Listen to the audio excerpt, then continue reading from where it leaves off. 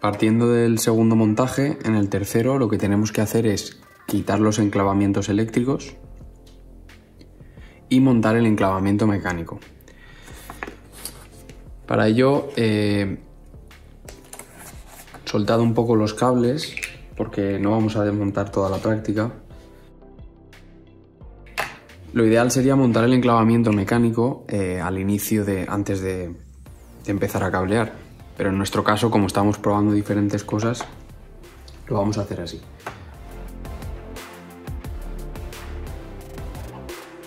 Una vez tenéis sueltos los dos contactores, tenemos que insertar el enclavamiento mecánico aquí, de manera que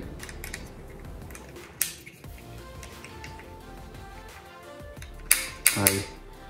Aseguraos de que lo, lo metéis en el sitio adecuado, no arriba, porque si no está bien puesto, bloqueará. Vale, aquí. Y le ponéis el tope debajo para que lo mantenga en bloque. Antes de volverlo a poner en el carril DIN, vamos a comprobar que funciona. ¿Vale? Por ejemplo, aquí no baja, ¿vale? Luego está mal puesto.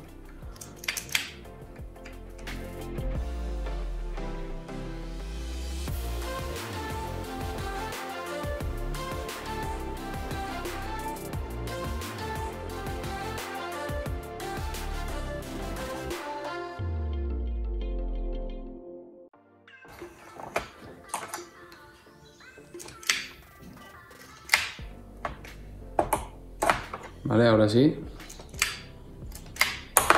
Lo tenemos.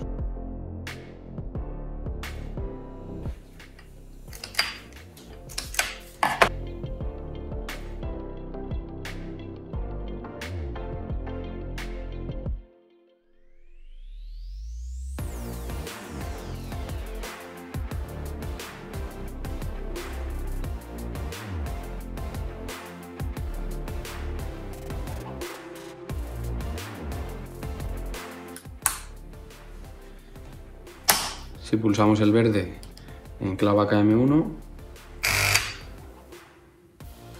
Si pulsamos el negro, el enclavamiento mecánico no deja entrar.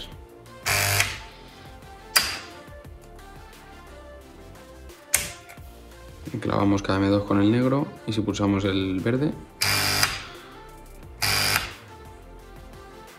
tiene un bloqueo mecánico. Obviamente le llega tensión a la bobina, por eso oímos el ruido, porque la bobina sí que intenta cerrar sus contactos, pero se topa con el, pues con el bloqueo mecánico. Por eso mm, este enclavamiento solo mm, tampoco es la mejor opción. Lo interesante sería combinarlo con un enclavamiento eléctrico, que es el siguiente montaje que tenéis que hacer.